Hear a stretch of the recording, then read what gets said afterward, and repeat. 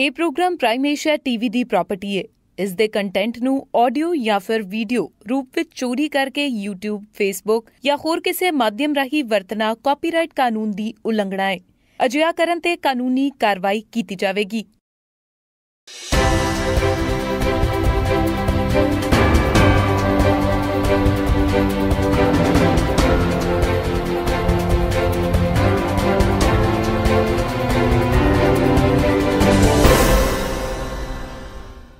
Prime Asia TV ਦੇਖ ਰਹੇ ਸਾਰੇ ਦਰਸ਼ਕਾਂ ਦਾ ਮੈਂ ਗੁਰਪ੍ਰੀਤ ਸੰਧਾ ਵਾਲਿਆ ਸਵਾਗਤ ਕਰਦਾ ਜੀ programme Prime discussion with Jatinder Pannu ਵਿੱਚ। ਪਨੂ ਸਾਹਿਬ ਬਹੁਤ ਬਹੁਤ ਸਵਾਗਤ ਜੀ ਤੁਹਾਡਾ। ਜੀ ਸ਼ੁਕਰੀਆ। ਮੈਂ ਦੱਸਦਾ ਜੀ ਕਿ ਹਰ ਰੋਜ਼ ਨਿਤ ਨਵੀਆਂ ਘਟਨਾਵਾਂ ਵਾਪਰਦੀਆਂ ਨੇ। ਉਹਨਾਂ ਘਟਨਾਵਾਂ ਦੇ ਪਿੱਛੇ ਕਿਹੜੀਆਂ ਘਟਨਾਵਾਂ ਉਹ ਹੁੰਦੀਆਂ ਨੇ ਜਿਹੜੀਆਂ ਕਿ ਕਿਤੇ ਨਾ ਕਿਤੇ ਉਸ ਚੀਜ਼ ਦਾ ਇਤਿਹਾਸ ਹੁੰਦੀਆਂ ਨੇ ਤੇ ਉਸ ਇਤਿਹਾਸ ਦਾ ਮੌਜੂਦਾ ਘਟਨਾ ਦੇ ਉੱਪਰ ਕੀ ਅਸਰ ਹੁੰਦਾ ਹੈ? ਸਾਰੇ ਕੁਝ ਨੂੰ ਬੜੀ ਬਰੀਕੀ ਨਾਲ ਆਪਾਂ ਨੂੰ ਪਨੂ ਸਾਹਿਬ ਸਮਝਾਉਂਦੇ ਨੇ। ਪਨੂ ਸਾਹਿਬ ਜੇ ਹੁਕਮ ਕਰੋ ਤਾਂ ਪਹਿਲਾ ਸਵਾਲ ਸੌਦੇ ਵਾਲੇ ਸਾਧ ਦਾ ਪੁੱਛ ਲਾਂ ਜੀ। ਇਹ ਸੌਦੇ ਵਾਲਾ ਸਾਥ ਤਾਂ ਚਲੋ ਅੰਦਰ ਹੋ ਗਿਆ ਜੀ ਪਰ ਜਦੋਂ ਇਹ 25 ਨੂੰ ਡਰਾਮਾ ਹੋਇਆ ਸੀ ਉਸ ਤੋਂ ਪਹਿਲਾਂ ਜਦੋਂ ਸਜ਼ਾ ਹੋਈ ਏ ਤੇ 28 ਨੂੰ ਤਾਂ ਕੰਮ ਪੂਰਾ ਹੀ ਮਗ ਪਿਆ। ਉਹ ਜਿਹੜਾ ਨੁਕਸਾਨ ਹੋਇਆ ਜਾਇਦਾਦਾਂ ਦਾ ਜਾਂ ਲੋਕਾਂ ਦਾ ਉਹ ਸਾਰੇ ਕੁਝ ਦੇ ਉੱਪਰ ਇਹ ਕਿਹਾ ਗਿਆ ਸੀਗਾ ਕਿ ਵੀ ਇਹ ਸਾਰਾ ਕੁਝ ਜਿਹੜਾ ਉਹ ਮੁਆਵਜ਼ਾ ਡੇਰੇ ਦੇ ਕੋਲੋਂ ਭਰਵਾਇਆ ਜਾਊਗਾ। ਹੁਣ ਲੋਕਾਂ ਨੇ ਆਪਣੀਆਂ ਸ਼ਿਕਾਇਤਾਂ ਦੇਣੀਆਂ ਸ਼ੁਰੂ ਕਰ ਦਿੱਤੀਆਂ ਤੇ ਕੀ ਜਾਪਦਾ ਤੁਹਾਨੂੰ ਕਿ ਕੀ ਹੋਊਗਾ ਕੀ? ਇਦਾਂ ਅੱਗੇ ਕਦੇ ਹੋਇਆ ਨਹੀਂ। ਇਹ ਪਹਿਲੀ ਵਾਰ ਹੋਣ ਲੱਗਾ ਜੀ। ਕਿ ਇਹੋ ਜੇ ਹਿੰਸਕ ਦੌਰ ਤੋਂ ਬਾਅਦ ਜਿਨ੍ਹਾਂ ਲੋਕਾਂ ਦਾ ਨੁਕਸਾਨ ਹੋਇਆ ਜੀ। ਉਹਨਾਂ ਸਾਰਿਆਂ ਨੂੰ ਮੁਆਵਜ਼ਾ ਦਿਵਾਇਆ ਜਾਵੇ। ਤੇ ਇਹਦਾ ਫੈਸਲਾ ਕਿਸੇ ਸਰਕਾਰ ਨੇ ਕਿਸੇ ਕਮੇਟੀ ਨੇ ਨਹੀਂ ਕੀਤਾ। ਇਹਦਾ ਸਿਰਾ ਪੰਜਾਬ ਹਰਿਆਣਾ ਹਾਈ ਕੋਰਟ ਨੂੰ ਤੇ ਉਦੋਂ ਦੇ ਜਿਹੜਾ ਕਾਰਜਕਾਰੀ ਚੀਫ ਜਸਟਿਸ ਹੈ ਜਸਟਿਸ ਸੁਰਿੰਦਰ ਸਿੰਘ ਸਾਰੋ ਨੂੰ ਜਾਂਦਾ। ਜੀ। ਉਹਨਾਂ ਪਹਿਲ ਕਦਮੀ ਕੀਤੀ ਕਿ ਇੰਨੇ ਲੋਕ ਮਾਰੇ ਗਏ। ਹੂੰ। ਇੰਨੀਆਂ ਗੱਡੀਆਂ ਫੂਕੀਆਂ ਗਈਆਂ। ਇੰਨੀਆਂ ਬਿਲਡਿੰਗਾਂ ਦੀ ਭੰਨਤੋੜ ਹੋਈ। ਇੰਨਾ ਕੰਮ ਦਾ ਨੁਕਸਾਨ ਹੋਇਆ। ਜੀ। ਇੱਕ ਬੰਦੇ ਦਾ ਕਰਕੇ ਹੋਇਆ ਇਹਦੇ ਡੇਰੇ ਦਾ ਕਰਕੇ ਹੋਇਆ। ਹੂੰ। ਇਹਦੀ ਡੇਰੇ ਦੀ ਜਾਇਦਾਦ ਜ਼ਬਤ ਕੀਤੀ ਜਾਵੇ ਜੀ। ਤੇ ਉਹ 'ਚ ਸਾਰੇ ਲੋਕਾਂ ਦਾ ਮੁਆਵਜ਼ਾ ਦਿੱਤਾ ਜਾਵੇ। ਅੱਜ ਤੱਕ ਕਦੇ ਏਡਾ ਸਖਤ ਫੈਸਲਾ ਨਹੀਂ ਹੋਇਆ ਜੀ। ਜਿਹੜਾ ਹੋਇਆ। ਹੂੰ। ਤੇ ਹੋਣਾ ਵੀ ਚਾਹੀਦਾ ਸੀ। ਹੁਣ ਲੋਕ ਕਿਹੜੇ ਮਾਰੇ ਗਏ? ਬਹੁਤੇ ਤਾਂ ਦੇ ਡੇਰੇ ਦੇ ਪਰਿਵਾਰ ਸੀ। ਜੀ। 39 ਬੰਦੇ ਮਰੇ 39 ਦੇ ਵਿੱਚੋਂ 7 ਜਾਂ 8 ਜਿਹੜੇ ਪੰਜਾਬ ਦੇ ਨੇ। ਪਰ ਪੰਜਾਬ ਵਿੱਚ ਇੱਕ ਨਹੀਂ ਮਰਿਆ ਪੰਚਕੂਲੇ ਜਾ ਕੇ ਮਰਿਆ ਹੂੰ। ਤੇ ਮੁੱਖ ਮੰਤਰੀ ਅਮਰਿੰਦਰ ਸਿੰਘ ਨੂੰ ਪੁੱਛਿਆ ਗਿਆ ਕਿ ਤੁਸੀਂ ਮੁਆਵਜ਼ਾ ਦਿਓਗੇ? ਕਹਿੰਦਾ ਉਹ ਕਿ ਨੇਕੀ ਦੀ ਜੰਗ ਲੜਨ ਗਏ ਸੀ। ਹੂੰ। ਗਲਤ ਕੰਮ ਵਾਸਤੇ ਗਏ ਸੀ। ਪੰਜਾਬ ਤੋਂ ਬਾਹਰ ਜਾ ਕੇ ਮਰੇ ਤੇ ਉਹਦਾ ਮੁਆਵਜ਼ਾ ਅਸੀਂ ਕਰਾ ਦੇਣਾ? ਹੂੰ। ਉਧਰੋਂ ਹਰਿਆਣੇ ਵਾਲੇ ਦੇਣ ਨੂੰ ਤਿਆਰ ਨਹੀਂ। ਪਰ ਹਾਈ ਕੋਰਟ ਦਾ ਜਿਹੜਾ ਆਰਡਰ ਆ ਜੀ। ਉਹਦੇ ਵਿੱਚ ਉਹ ਵੀ ਲੋਕ ਆ ਜਾਣੇ ਆ। ਜਿਹੜੇ ਭਾਵੇਂ ਡੇਰੇ ਵਾਲੇ ਦੇ ਮਗਰ ਆਏ ਨੇ ਜਿਹੜੇ ਮਰ ਗਏ ਆ ਉਹਨਾਂ ਦੇ ਪਰਿਵਾਰਾਂ ਨੂੰ ਮੁਆਵਜ਼ਾ ਕੁਝ ਨਾ ਕੁਝ ਮਿਲ ਜਾਏਗਾ ਜੀ। ਦੂਜੀ ਗੱਲ ਹਰਿਆਣਾ ਸਰਕਾਰ ਦੀਆਂ ਕਈ ਬਿਲਡਿੰਗਾਂ ਟੁੱਟੀਆਂ ਨੇ। ਹਰਿਆਣਾ ਸਰਕਾਰ ਦਾ ਜਿਹੜਾ ਖਪਤਕਾਰ ਫੋਰਮ ਹੈ ਸਟੇਟ ਲੈਵਲ ਦਾ ਜੀ। ਉਹਦੀ ਬਿਲਡਿੰਗ ਭੰਨ ਤੋੜ ਸਾੜ ਪੂ ਕੋਈ।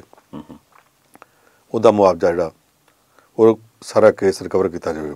ਲਾਗੇ ਐਲਆਈਸੀ ਦੀ ਬਿਲਡਿੰਗ ਤੋੜੀ ਗਈ ਜੀਵਨ ਬੀਮਾ ਦੀ। ਜੀ ਜੀ। ਉਹਦਾ ਹਰਜਾਨਾ ਲਿਆ ਜਾਵੇ। ਗੱਡੀਆਂ ਉੱਥੇ ਬਹੁਤ ਸਾਰੀਆਂ ਸਾੜੀਆਂ ਫੂਕੀਆਂ ਗਈਆਂ ਜਿਨ੍ਹਾਂ 'ਚ ਸਰਕਾਰੀ ਵੀ ਸੀ। ਮੀਡੀਆ ਚੈਨਲਾਂ ਦੀਆਂ ਵੀ ਸੀ। ਜੀ। ਕੁਝ ਲੋਕਾਂ ਦੀਆਂ ਪ੍ਰਾਈਵੇਟ ਗੱਡੀਆਂ ਵੀ ਸਾੜੀਆਂ ਫੂਕੀਆਂ ਗਈਆਂ। ਬਿਲਕੁਲ। ਉਹਨਾਂ ਸਭ ਨੂੰ ਮੁਆਵਜ਼ਾ ਮਿਲੇਗਾ। ਲੈਣਾ ਕਿੱਥੋਂ? ਡੇਰੇ ਦੀ ਜਾਇਦਾਦ ਚੋਂ। ਜੀ ਜੀ। ਡੇਰੇ ਦੀ ਜਾਇਦਾਦ ਕਿਹੜੀ ਹੈ 1435 ਏਕੜ ਜਾਇਦਾਦ ਹੈ ਉਹਦੇ ਕੋਲ। ਅੱਛਾ ਜੀ। 1435 ਏਕੜ ਜਾਇਦਾਦ ਇੱਕ ਪੂਰਾ ਪਿੰਡ ਹੀ ਬਣ ਜਾਂਦਾ। ਹੂੰ। ਇਹ ਉੱਥੇ ਆ। ਇਹਦੇ ਤੋਂ ਇਲਾਵਾ ਪੰਜਾਬ ਵਿੱਚ ਹਰਿਆਣੇ 'ਚ ਹਿਮਾਚਲ ਪ੍ਰਦੇਸ਼ ਯੂਪੀ 'ਚ ਪਤਾ ਨਹੀਂ ਕਿੱਥੇ ਕਿੱਥੇ ਉਹਦੀ ਜਾਇਦਾਦ ਖਿਲਰੀ ਪਈ ਉਹ ਕਿਹੜੀ ਹੈ ਡੇਰੇ ਦੇ ਪੈਰੋਕਾਰਾਂ ਨੂੰ ਕਈਆਂ ਨੂੰ ਇਹਨੇ ਜਜ਼ਬਾਤੀ ਕੀਤਾ ਗਿਆ ਕਿ ਉਹਨਾਂ ਨੇ ਆਖਿਆ ਜੀ ਜ਼ਿੰਦਗੀ ਵੀ ਬਾਬੇ ਦੇ ਨਾਂ ਜਾਇਦਾਦ ਵੀ ਬਾਬੇ ਦੇ ਨਾਂ। ਆਪਣੀ ਜ਼ਮੀਨ ਜਾਇਦਾਦ ਬਾਬੇ ਦੇ ਨਾਂ ਕਰਾਤੀ ਗਈ ਡੇਰੇ ਦੇ ਨਾਂ ਕਰਾਤੀ ਗਈ। ਤੇ ਡੇਰੇ ਨੇ ਆਖਿਆ ਜਦ ਤੱਕ ਤੁਸੀਂ ਜਿਉਂਦੇ ਹੋ ਤੇ ਤੁਸੀਂ ਡੇਰੇ ਦੇ ਨਾਲ ਹੋ। ਹੂੰ। ਉਹਨਾਂ ਚਿਰ ਤੱਕ ਇਹ ਜਾਇਦਾਦ ਤੇ ਰਹੋਗੇ ਵੀ ਤੁਸੀਂ ਹੱਕ ਵੀ ਤੁਹਾਡਾ ਵਰਤੋਗੇ ਵੀ ਤੁਸੀਂ। ਹੂੰ। ਇੱਕ ਤਰ੍ਹਾਂ ਨਾਲ ਉਹਨਾਂ ਨੂੰ ਬੰਨ ਲਿਆ ਗਿਆ ਕਿ ਹੁਣ ਤੁਸੀਂ ਡੇਰਾ ਨਹੀਂ ਛੱਡ ਸਕਦੇ ਜੇ ਡੇਰਾ ਛੱਡਿਆ ਤੇ ਜਾਇਦਾਦ ਵੀ ਛੱਡਣੀ ਪੈਣੀ ਹੈ। ਹੂੰ। ਕਿਉਂਕਿ ਕਾਗਜ਼ਾਂ ਵਿੱਚ ਇੰਤਕਾਲ ਡੇਰੇ ਦੇ ਨਾਂ ਹੋ ਚੁੱਕਾ। ਜੀ। ਜਦੋਂ ਹਾਈ ਕੋਰਟ ਨੇ ਕਿਹਾ ਕਿ ਡੇਰੇ ਦੀਆਂ ਜਾਇਦਾਦਾਂ ਜ਼ਬਤ ਕਰਕੇ ਤੇ ਉਹ 'ਚ ਮੁਆਵਜ਼ਾ ਦੇਣਾ ਤੇ ਆਪਣੇ ਘਰ ਨੂੰ ਹਰ ਕੋਈ ਸਿਆਣਾ ਹੁੰਦਾ ਡੇਰੇ ਦੀ ਕਮੇਟੀ ਵੀ ਆਪਣੇ ਘਰ ਨੂੰ ਸਿਆਣੀ ਹੈ ਜੀ। ਉਹਨੇ ਜਾਇਦਾਦ ਦੀਆਂ ਲਿਸਟਾਂ ਵਿੱਚ ਇਹੋ ਜਿਹੀਆਂ ਸਾਰੀਆਂ ਜਾਇਦਾਦਾਂ ਵਿੱਚ ਸ਼ਾਮਲ ਕਰਾਤੀਆਂ ਤਾਂ ਕਿ ਆਸੇ-ਪਾਸੇ ਵਾਲੀਆਂ ਸ਼ਰਧਾਲੂਆਂ ਦੀਆਂ ਜਾਇਦਾਦਾਂ ਉਹਨਾਂ ਦੇ ਘਰ ਉਹਨਾਂ ਦੀਆਂ ਜ਼ਮੀਨਾਂ ਉਹ ਕੁਰਕ ਕਰਾ ਦਿੱਤੀਆਂ ਜਾਣ ਤੇ ਜਿਹੜਾ ਵੱਡਾ ਕੁਰਾ ਹੈ ਜੀ। ਵੱਡਾ ਟਿਕਾਣਾ ਸਾਂਝਾ ਉਹ ਸੰਭਾਲ ਕੇ ਰੱਖ ਲਿਆ ਜਾਵੇ। ਜੀ। ਜਿਹੜੇ ਲੋਕਾਂ ਨੇ ਉਦੋਂ ਦਾਨ ਦਿੱਤੀਆਂ ਸਨ ਤੇ ਇਹ ਸੋਚ ਕੇ ਕਿ ਸਾਰੀ ਉਮਰ ਆਪਣੇ ਕੋਲ ਹੀ ਰਹਿਣੀਆਂ ਬਾਬਾ ਜੀ ਨੇ ਕਿਹੜੀਆਂ ਲੈ ਲੈਣੀਆਂ। ਹੂੰ ਹੂੰ ਹੂੰ ਉਹ ਹੁਣ ਮੱਥੇ ਤੇ ਮਾ ਹੱਥ ਮਾਰਦੇ ਪਏ ਅੱਗੇ ਤੇ ਅਸੀਂ ਮੁਹਾਵਰਾ ਸੁਣਿਆ ਸੀ ਆਪ ਤੇ ਡੁੱਬਿਓ ਬਾਹਮਣਾ ਜਜਮਾਨ ਵੀ ਡੁੱਬੇ। ਜੀ। ਇੱਥੇ ਆ ਕਿ ਉਹ ਜਿਹੜਾ ਬਾਬਾ ਸੀ ਆਪ ਪੁੱਠੇ ਕੰਮ ਕਰਦਾ ਜੇਲ੍ਹ 'ਚ ਜਾ ਬੈਠਾ। ਤੇ ਜਿਹੜੇ ਉਹਦੇ ਚੇਲੇ ਚਾਂਟੇ ਸੀ ਉਹਨਾਂ ਸਿਰ ਛਿਲ ਕੇ ਰੱਖ ਦਿੱਤਾ। ਜੀ। ਉਹਨਾਂ ਕਿਸੇ ਪਾਸੇ ਜਾਣ ਜੋਗੇ ਰਹਿ ਨਾ ਹੋਰ। ਜਾਣ ਤਾਂ ਵੀ ਜ਼ਮੀਨ ਜਾਇਦਾਦ ਛੁੱਟਦੀ ਹੂੰ। ਨਾ ਜਾਣ ਤੇ ਤਾਂ ਵੀ ਹਰ ਵਕਤ ਸਿਰ ਤੇ ਤਲਵਾਰ ਲਟਕਦੀ ਹੈ ਜਾਇਦਾਦ ਜ਼ਬਤ ਹੋ ਸਕਦੀ ਹੈ। ਜੀ ਜੀ। ਇੱਕ ਖੇੜੇ 'ਚ ਹੋਰ ਹੈ। ਪਹਿਲਾਂ ਤਾਂ ਕਈ ਦਿਨ ਘੇਰਾ ਪਾ ਛੱਡਿਆ। ਸ਼ੁੱਕਰਵਾਰ ਸੀ ਜਦੋਂ 25 ਅਗਸਤ ਨੂੰ ਉਹਨੂੰ ਦੋਸ਼ੀ ਡਿਕਲੇਅਰ ਕੀਤਾ ਗਿਆ। ਤੇ ਸ਼ੁੱਕਰਵਾਰ 8 ਸਤੰਬਰ ਨੂੰ ਜਾ ਕੇ 14 ਦਿਨਾਂ ਬਾਅਦ ਪੁਲਿਸ ਫੋਰਸ ਇੱਕ ਜੱਜ ਦੀ ਅਗਵਾਈ 'ਚ ਡੇਰੇ ਦੀ ਤਲਾਸ਼ੀ ਲੈਣ ਵਾਸਤੇ ਬੜੀ ਜੀ। ਇਹ 14 ਦਿਨ ਕਾਹਦੇ ਲਈ ਦਿੱਤੇ ਸੀ? ਉਹਨਾਂ ਦੀ ਕਮੇਟੀ ਨੂੰ ਕਿ ਜੋ ਗੰਦਮੰਦ ਤੁਹਾਡੇ ਕੋਲ ਹੈਗਾ ਜੋ ਪੁੱਠਾ ਸਿੱਧਾ ਸਮਾਨ। ਸੰਭਾਲ ਲਓ। ਬਿਲਕੁਲ। ਇਹਨੇ ਦਿਨ ਘੇਰਾ ਪਾ ਛੱਡਿਆ ਉਹਨਾਂ ਦੀਆਂ ਗੱਡੀਆਂ ਬਾਹਰ ਨਿਕਲਦੀਆਂ ਰਹੀਆਂ। ਹੌਲੀ ਹੌਲੀ ਆਪਣਾ ਸਮਾਨ ਲੈ ਗਏ ਜਿਹੜੀਆਂ ਚੀਜ਼ਾਂ ਇਤਰਾਜ਼ਯੋਗ ਸੀ ਮੁੜ ਮੁੜ ਕੇ ਸਨੇਹ ਭੇਜੇ ਗਏ ਕਿ ਤੁਸੀਂ ਸੰਭਾਲ ਲਓ ਨਹੀਂ ਤਾਂ ਕੰਮ ਖਰਾਬ ਹੋ ਜਾਣਾ। ਜਦੋਂ 11 ਦਿਨ ਹੋ ਗਏ ਤੇ ਫਿਰ ਹਰਿਆਣਾ ਦੀ ਸਰਕਾਰ ਨੇ ਅਰਜੀ ਦੇ ਦਿੱਤੀ ਹਾਈ ਕੋਰਟ ਨੂੰ ਕਿ ਅਸੀਂ ਡੇਰੇ ਦੀ ਤਲਾਸ਼ੀ ਲੈਣੀ ਚਾਹੁੰਦੇ ਆਪਣੇ ਤੌਰ ਤੇ ਨਹੀਂ ਚਾਹੁੰਦੇ। ਅਦਾਲਤ ਕਵੇ ਤੇ ਜਾਵਾਂਗੇ? ਅਦਾਲਤ ਤੋਂ ਪੁੱਛਣ ਦੀ ਲੋੜ ਹੀ ਨਹੀਂ ਸੀ ਇਹ ਤਾਂ ਕੰਮ ਸਰਕਾਰ ਦੀ ਆਪਣੀ ਮਰਜ਼ੀ ਤੇ। ਜਦੋਂ ਮਰਜ਼ੀ ਆਰਡਰ ਪਾਸ ਕਰਕੇ ਜਾ ਕੇ ਇੱਕ ਡਿਸਟ੍ਰਿਕਟ ਮੈਜਿਸਟ੍ਰੇਟ ਇਥੋਂ ਤੱਕ ਤਹਿਸੀਲਦਾਰ ਆਰਡਰ ਕਰ ਸਕਦਾ। ਜੀ। ਕਿ ਇਸ ਡੇਰੇ ਦੀ ਤਲਾਸ਼ੀ ਲੈਣ ਦੀ ਲੋੜ ਹੈ ਜਾਓ ਜਾ ਕੇ ਲਓ। ਹੂੰ ਹੂੰ ਹਾਈ ਕੋਰਟ ਤੱਕ ਕੇਸ ਕਰਕੇ ਗਏ ਤਾਂ ਕਿ ਟਾਈਮ ਮਿਲ ਜੇ। ਜੀ। ਫਿਰ ਉਥੋਂ ਅਪਰੂਵਲ ਲੈਣੀ ਚਾਹੁੰਦੇ ਸੀ ਚੰਗਾ ਤੁਸੀਂ ਕਰ ਲਓ। ਪਰ ਹਾਈ ਕੋਰਟ ਨੇ ਇੱਕ ਕੰਮ ਹੋਰ ਕਰ ਦਿੱਤਾ। ਕਿ ਤਲਾਸ਼ੀ ਤਾਂ ਕਰ ਲਓ ਪਰ ਤਲਾਸ਼ੀ ਤੁਹਾਡੀ ਨਿਗਰਾਨੀ ਥੱਲੇ ਨਹੀਂ ਹੋਊਗੀ। ਕਿ ਤੁਸੀਂ ਮਰਜ਼ੀ ਦੇ ਦੋ ਖਾਣ ਪੀਣ ਵਾਲੇ ਤਹਿਸੀਲਦਾਰ ਲੈ ਜਾਓ। ਜੀ। ਤਿੰਨ ਇਹੋ ਜਿਹੇ ਤੁਸੀਂ ਡੀਐਸਪੀ ਲੈ ਜਾਓ। ਜਿਨ੍ਹਾਂ ਦੇ ਹੱਥ ਰਲੇ ਹੋਣ ਮੰਤਰੀਆਂ ਨਾਲ ਤੇ ਉਹ ਆ ਕੇ ਕਹਿ ਦੇਣ ਜੀ ਅੰਦਰ ਕੁਝ ਨਹੀਂ ਮਿਲਿਆ। ਉਹਨਾਂ ਕਾ ਫੋਰਸ ਤੁਸੀਂ ਦਿਓਗੇ ਪੈਰਾਮਿਲਟਰੀ ਫੋਰਸ ਨਾਲ ਜਾਊਗੀ। ਪਰ ਸਾਰੇ ਕੁਝ ਦਾ ਇੰਚਾਰਜ ਕਮਾਂਡਰ ਇੱਕ ਰਿਟਾਇਰਡ ਸੈਸ਼ਨ ਜੱਜ ਹੋਵੇਗਾ ਜੀ। ਜਿਹੜਾ ਸਿੱਧੇ ਤੌਰ ਤੇ ਹਾਈ ਕੋਰਟ ਨੂੰ ਰਿਪੋਰਟ ਕਰੇਗਾ। ਤੇ ਸੈਸ਼ਨ ਜੱਜ ਉਹ ਚੁਣਿਆ ਜਿਹੜਾ ਬਹੁਤ ਇਮਾਨਦਾਰ ਹੈ। ਇਹਦੇ ਨਾਲ ਜੇ ਕੁਝ ਰਹਿਦ ਖੂੰਦ ਹੋਈ ਜੀ। ਤੇ ਉਹ ਬਾਹਰ ਆ ਜਾਊ। ਹੁਣ ਇਹਦੇ 'ਚ ਇੱਕ ਖੇਡ ਹੋਰ ਚੱਲਦੀ ਪਈ ਇਹ ਜੀ। ਕਿ ਪੰਜਾਬ ਦੇ ਪੈਪਸੂ ਰੋਡ ਟਰਾਂਸਪੋਰਟ ਕਾਰਪੋਰੇਸ਼ਨ ਨੇ ਲਿਖਤਾ ਕਿ ਇੰਨਾ ਚਿਰ ਸਾਡੇ ਰੂਟ ਬੰਦ ਰਹੇ ਇੰਨੀਆਂ ਸਾਡੀਆਂ ਬੱਸਾਂ ਦਾ ਨੁਕਸਾਨ ਹੋਇਆ ਸਾਨੂੰ ਇਹਨਾਂ ਮੁਆਵਜ਼ਾ ਦਿਓ। ਜੀ। ਪੰਜਾਬ ਪਾਵਰ ਕਾਮ ਸਾਡੀ ਬਿਜਲੀ ਕਾਰਪੋਰੇਸ਼ਨ ਨੇ ਕਹਿਤਾ ਜੀ ਸਾਡਾ ਬਿਜਲੀ ਦਾ ਇੰਨਾ ਨੁਕਸਾਨ ਹੋਇਆ ਸਾਨੂੰ ਦਿਓ। ਦੋ ਤਿੰਨ ਵੱਡੇ ਮੈਰਿਜ ਪੈਲੇਸ ਤੇ ਰਿਸਾਰਟ ਹੈ। ਜੀ।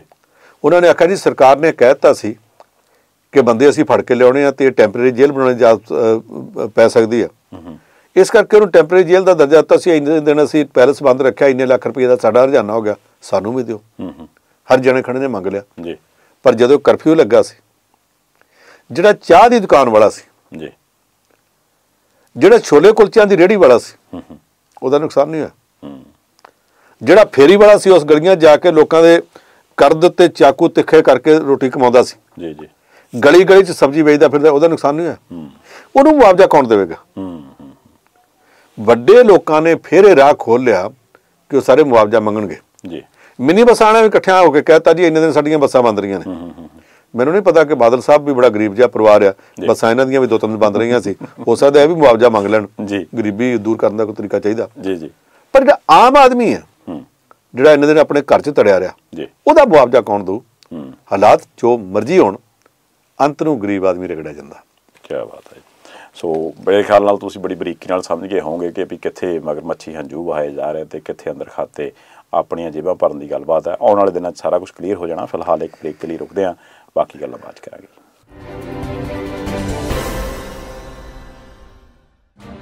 If you like this video, please subscribe the channel, like and share this video.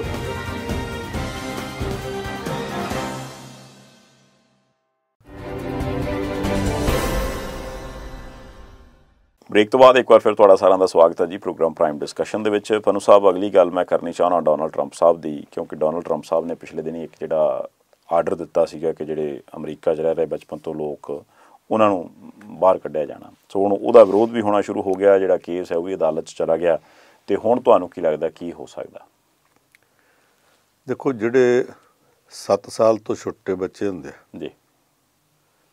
ਦੁਨੀਆ ਦੀ ਕੋਈ ਸਰਕਾਰ ਭਾਵੇਂ ਉਹਨਾਂ ਤੋਂ ਕਤਲ ਵੀ ਹੋ ਜਾਵੇ ਕਦੇ ਕਦੇ ਬੱਚੇ ਲੜਦੇ ਆ ਇੱਕ ਦੂਸਰੇ ਨੂੰ ਮਾਰ ਵੀ ਦਿੰਦੇ ਆ। ਉਹਨਾਂ ਦੇ ਕੋਈ ਮੁਕੱਦਮਾ ਦਰਜ ਨਹੀਂ ਕਰਦੇ। ਜੀ। ਬੱਚਾ ਬੇਕਸੂਰ ਮੰਗਿਆ ਮੰਨਿਆ ਜਾਂਦਾ। ਅਮਰੀਕਾ ਦੇ ਵਿੱਚ ਵੀ ਕੁਝ ਲੋਕ ਆਏ ਉਦੋਂ ਜਦੋਂ ਬੱਚੇ ਸਨ। ਜੀ। ਉਹ 7 ਸਾਲ ਦੇ ਨਾ ਹੋਣ ਭਾਵੇਂ 17 ਦੇ ਵੀ ਹੋਣ। ਜਦੋਂ ਅਜੇ ਅਡਲਟ ਨਹੀਂ ਸੀ ਹੋਏ। ਜੀ। ਉਹ ਆਏ ਤੇ ਬੱਚੇ ਆਪਣੀ ਮਰਜ਼ੀ ਨਾਲ ਨਹੀਂ ਆਏ। ਮਾਂ-ਬਾਪ ਆ ਗਏ ਉਹਨਾਂ ਦੇ ਨਾਲ ਆ ਗਏ। ਪਤਾ ਨਹੀਂ ਕਿੰਨੇ ਥਾਵਾਂ ਦੇ ਉੱਤੇ ਜਾ ਕੇ ਮੁਸ਼ਕਲਾਂ ਝੱਲੀਆਂ ਹੋਣਗੀਆਂ। ਹੂੰ ਹੂੰ। ਹੁਣ ਉਹਨਾਂ ਚੋਂ ਅੱਜ ਦੀ ਤਰੀਕ 'ਚ ਕੋਈ 80 ਸਾਲਾਂ ਦਾ ਕੋਈ 60 ਸਾਲਾਂ ਦਾ ਕੋਈ 40 ਦਾ ਵੀ ਹੋਊਗਾ ਕੋਈ 35 ਦਾ ਕੋਈ 25 ਦਾ ਵੀ ਹੋਊ। ਜੀ। ਪਰ ਇੰਨਾ ਲੰਮਾ ਸਮਾਂ ਰਹਿਣ ਤੋਂ ਬਾਅਦ ਜਦੋਂ ਜ਼ਿੰਦਗੀ ਥੋੜੀ ਜਿਹੀ ਸਟੇਬਲ ਹੋ ਗਈ ਹੈ ਹੂੰ ਹੂੰ ਹੂੰ। ਜਦੋਂ ਨਾ ਥੋੜਾ ਜਿਹਾ ਵੇਖਿਆ ਕਿ ਹੁਣ ਆਪਾਂ ਪੱਕੇ ਹੋ ਗਏ ਹਾਂ ਹੂੰ ਰੋਟੀ ਖਾ ਸਕਦੇ ਜੀ। ਉਦੋਂ ਅਮਰੀਕਾ ਦੇ ਚੋਣ ਪ੍ਰਕਿਰਿਆ ਦੇ ਵਿੱਚੋਂ ਇੱਕ ਡੋਨਲਡ ਟਰੰਪ ਸਾਹਿਬ ਰਾਸ਼ਟਰਪਤੀ ਨਿਕਲ ਆਏ। ਹੂੰ। ਉਹਦਾ ਪਤਾ ਹੀ ਕੋਈ ਨਹੀਂ। ਖੱਬੇ ਜਾਣਾ ਸੱਜੇ ਜਾਣਾ। ਉਹਨੇ ਕੀ ਫੈਸਲਾ ਕਰਨਾ? ਭਲਕੇ ਸਵੇਰੇ ਆ ਕੇ ਕਿਹੜੇ ਬੰਦੇ ਨੂੰ ਨਵੇਂ ਨੂੰ ਲਾ ਦੂਗਾ ਤੇ ਕਿਹੜੇ ਪਹਿਲੇ ਨੂੰ ਕੱਢ ਦੂਗਾ? ਇਹਨਾਂ 8 ਮਹੀਨਿਆਂ ਦੇ ਅੰਦਰ ਅੰਦਰ 9 ਮਹੀਨਿਆਂ 'ਚ ਉਹਨੇ ਆਪਣੇ ਜਿਹੜੇ ਅਪਾਇੰਟ ਕੀਤੇ ਤਾਜੇ ਤਾਜੇ ਅਫਸਰ ਸੀ। ਜੀ। ਉਹਨਾਂ 'ਚੋਂ ਇੱਕ ਦੋ ਕਰਕੇ ਹੁਣ ਤੱਕ 12 ਕੱਢਤੇ। ਹੂੰ। ਜਿਹਦਾ ਇਹ ਨਹੀਂ ਪਤਾ ਕਿ ਭਲਕ ਨੂੰ ਨਾਲ ਤੁਰੇ ਜਾਂਦਿਆਂ ਵਿੱਚੋਂ ਵੀ ਕਿਸੇ ਨੂੰ ਰੱਖਣਾ ਕਿ ਕੱਢ ਦੇਣਾ। ਹੂੰ ਹੂੰ। ਉਹਦੀਆਂ ਨੀਤੀਆਂ ਦਾ ਕੀ ਯਕੀਨ ਹੋ ਸਕਦਾ? ਜੀ। ਦੂਸਰਾ ਉਹਦਾ ਇੱਕ ਪੱਕਾ ਵਿਰੋਧ ਆ ਬਰਾਕ ਓਬਾਮਾ ਦੇ ਨਾਲ। ਹੂੰ। ਬਰਾਕ ਓਬਾਮਾ ਦੋ ਵਾਰੀ ਰਾਸ਼ਟਰਪਤੀ ਰਹਿ ਚੁੱਕਾ ਸੀ। ਜੀ। ਇਹਨੇ ਉਹਦੇ ਉੱਤੇ ਇਹ ਵੀ ਦੋਸ਼ ਲਾਇਆ ਕਿ ਜਦੋਂ ਮੈਂ ਚੋਣ ਲੜਦਾ ਪਿਆ ਸਾਂ ਤੇ ਮੇਰਾ ਟਰੰਪ ਟਾਵਰ ਡੋਨਲਡ ਟਰੰਪ ਬਹੁਤ ਵੱਡਾ ਬਿਜ਼ਨਸਮੈਨ ਹੈ ਬਹੁਤ ਵੱਡਾ ਕਾਰੋਬਾਰੀ ਬੰਦਾ। ਜੀ। ਇਹਦੇ ਬੜੇ ਇਹੋ ਜਿਹੇ ਟਾਵਰ ਸ਼ਾਵਰ ਚੱਲਦੇ ਨੇ ਕਈਆਂ ਦੇਸ਼ਾਂ 'ਚ ਚੱਲਦੇ ਨੇ। ਇਹਦੀ ਮਾਲਕੀ ਵਾਲਾ ਟਰੰਪ ਟਰੰਪ ਟਾਵਰ ਜਿਹਦੇ ਵਿੱਚੋਂ ਸਾਰੀ ਇਹ ਚੋਣ ਮੁਹਿੰਮ ਲੜਦਾ ਪਿਆ ਸੀ। ਇਹਨੇ ਦੋਸ਼ ਲਾਤਾ ਕਿ ਰਾਸ਼ਟਰਪਤੀ ਬਰਾਕ ਓਬਾਮਾ ਨੇ ਉਹਦੇ ਵਿੱਚ ਮੇਰੀ ਜਸੂਸੀ ਮੇਰੇ ਫੋਨ ਟੈਪ ਕਰਨ ਦਾ ਯਤਨ ਕੀਤਾ। ਜੇ ਗੱਲ ਸਾਬਤ ਹੋ ਜੇ ਤੇ ਬਰਾਕ ਓਬਾਮਾ ਦੇ ਖਿਲਾਫ ਤਾਂ ਮਹਾਦੋਸ਼ ਦਾ ਨਿਖੇਧੀ ਦਾ ਮਤਾ ਅਮਰੀਕਾ ਦੀ ਪਾਰਲੀਮੈਂਟ ਚ ਹੂੰ। ਇਹ ਆਪਣੀ ਗੱਲ ਤੇ ਅਜੇ ਵੀ ਅੜਿਆ ਤੇ ਇਹਦੇ ਦੇਸ਼ ਦਾ ਹੀ ਜਿਹੜਾ ਜੁਡੀਸ਼ੀਅਲ ਸਿਸਟਮ ਆ ਤੇ ਜਿਹੜੇ ਹੋਮ ਡਿਪਾਰਟਮੈਂਟ ਆ ਉਹਨਾਂ ਨੇ ਰਿਪੋਰਟ ਦਿੱਤੀ ਹੈ ਕਿ ਇਹੋ ਜਿਹਾ ਕੋਈ ਸਬੂਤ ਨਹੀਂ ਮਿਲਿਆ। ਹੂੰ। ਦੂਜੇ ਪਾਸੋਂ ਇਹ ਤੇ ਦੋਸ਼ ਲੱਗਦੇ ਆ ਕਿ ਚਲਦੀ ਚੋਣ ਪ੍ਰਕਿਰਿਆ 'ਚ ਇਹਦੀ ਟੀਮ ਦੇ ਲੋਕ ਰੂਸ ਦੇ ਐਮਬੈਸਡਰ ਨਾਲ ਤੇ ਉਹਦੇ ਬੰਦਿਆਂ ਨਾਲ ਮਿਲਦੇ ਰਹੇ ਆ। ਤੇ ਰੂਸ ਵਾਲਾ ਹੇਰਾਫੇਰੀ ਕੀਤੀ ਹੂੰ ਉਹਨਾਂ ਕੀਤੀ ਹੋਵੇ ਜਾਂ ਨਾ ਕੀਤੀ ਹੋਵੇ। ਪਰ ਇਹ ਗੱਲ ਸੱਚੀ ਹੈ ਕਿ ਜਿਹੜੇ ਬੰਦੇ ਇਹਦੇ ਨਾਲ ਲੱਗੇ ਸੀ ਜੀ। ਉਹਨਾਂ ਚੋਂ ਪਹਿਲਾਂ ਇੱਕ ਨੇ ਅਸਤੀਫਾ ਦਿੱਤਾ ਫਿਰ ਦੂਜੇ ਨੇ ਦਿੱਤਾ ਤੇ ਹੌਲੀ ਹੌਲੀ ਗੱਲ ਇੱਥੋਂ ਤੱਕ ਆ ਗਈ ਹੈ ਕਿ ਇਹਦਾ ਮੁੰਡਾ ਤੇ ਇਹਦਾ ਜਵਾਈ ਉਹ ਵੀ ਦੋਵੇਂ ਰੂਸ ਦੇ ਰਾਜਦੂਤ ਨੂੰ ਮਿਲਦੇ ਰਹੇ ਰਾਜਦੂਤ ਦੇ ਵਕੀਲਾਂ ਨੂੰ ਮਿਲਦੇ ਰਹੇ। ਆਪਣੇ ਉੱਤੇ ਲੱਗੇ ਦੋਸ਼ਾਂ ਦਾ ਕੋਈ ਜਵਾਬ ਨਹੀਂ ਦਿੰਦਾ। ਜੀ। ਦੂਸਰਿਆਂ ਤੇ ਲਾਈ ਜਾਂਦਾ। ਇਹਨੇ ਆਖਿਆ ਕਿ ਮੈਂ ਮੈਕਸੀਕੋ ਦੀ ਦੀਵਾਰ ਬਣਾਉਣੀ ਹੈ। ਜੀ। ਉਧਰੋਂ ਬੜੀ ਘੁਸਪੈਠ ਹੁੰਦੀ ਰੋਕਣੀ ਜੇ ਘੁਸਪੈਠ ਹੁੰਦੀ ਰੋਕਣੀ ਹੈ ਤੇ ਤੂੰ ਆਪਣੇ ਘਰ 'ਚ ਰੋਕਣੀ ਹੈ। ਮੈਕਸੀਕੋ ਤੇ ਦਬਾਅ ਪਾਤਾ ਕਿ ਤੁਸੀਂ ਇਹਦਾ ਖਰਚਾ ਦਿਓ। ਕਹਿੰਦੇ ਕਿਉਂ? ਸਾਨੂੰ ਕਾ ਕਾਦੀ ਚੱਟੀ ਪਈ ਅਸੀਂ ਕੋ ਦੇਈਏ? ਕਹਿੰਦਾ ਨਹੀਂ ਇਹ ਰੁਕਣੀ ਪੈਣੀ ਹੈ ਦੀਵਾਰ ਬਣਾਉਣੀ ਪੈਣੀ। ਬਣਾਉਣੀ ਆਪਣੀ ਲੋੜ ਦੂੰਗਾ ਚੱਟੀ ਉਹਨਾਂ ਨੂੰ ਪਈ। ਯਾਨੀ ਸਾਰੇ ਦੇ ਸਾਰੇ ਇਹਦੇ ਫੈਸਲੇ ਇਸ ਤਰ੍ਹਾਂ ਦੇ ਕਰਦਾ ਪਿਆ। ਬਰਾਕ ਓਬਾਮਾ ਨੇ ਇੱਕ ਹੈਲਥ ਸਰਵਿਸ ਲਿਆਂਦੀ ਸੀ ਸਕੀਮ।